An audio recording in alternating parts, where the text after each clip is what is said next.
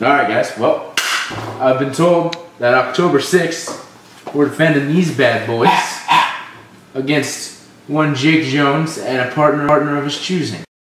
Partner of his choosing. What? What? You see, We interrupt our program to bring you this important message.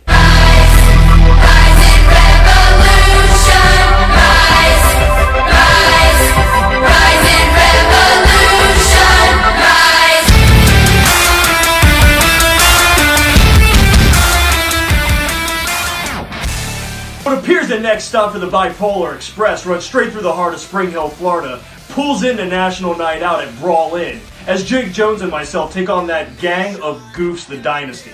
You see, guys, you got off real easy this time with it being a non-title match, but in all reality, your tag team championships aren't exactly what Jake and I are looking for. What we're looking for is a little retribution after your actions from Summer Showdown. So when we get done beating you pillar to post and leaving you in a heap in the middle of the ring, I just need you to remember one thing, Dynasty. There's no crying in professional wrestling. After these messages, we'll be right back. Oh no, that backjumping Jude McKenzie gets a drop on Joshua Masters. You're gonna regret doing that, Jude McKenzie!